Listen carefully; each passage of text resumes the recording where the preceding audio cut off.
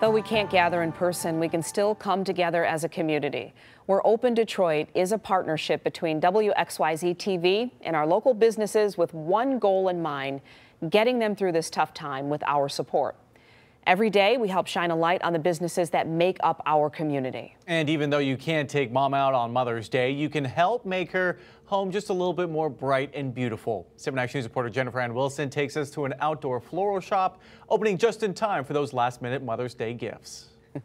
Our moms do so much to brighten our day every day. Now Northern Flowers is open just in time for us to brighten theirs.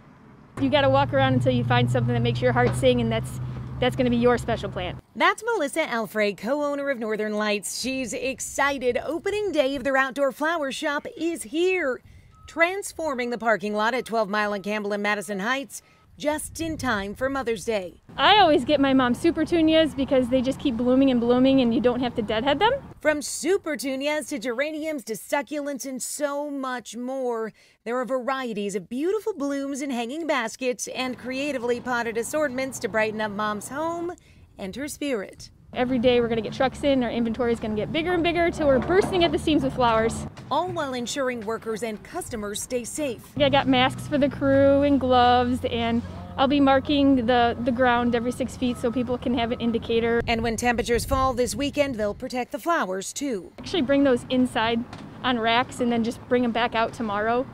And it's a big job, but we got a big crew and uh, we're very dedicated. They're open from 9 a.m. till 8 p.m., seven days a week, no matter the weather. But we want to be here for the people. We want everybody to be able to get their Mother's Day gifts, and we're going to do our best to, you know, make it happen. Not all of these bright and beautiful flowers are cold hardy, so they will be bringing them inside in the next few days when the temperatures drop. But they will be open until 8 p.m. every day to serve all your flower and soon your vegetable needs. In Madison Heights, I'm Jennifer Ann Wilson, 7 Action News. I'm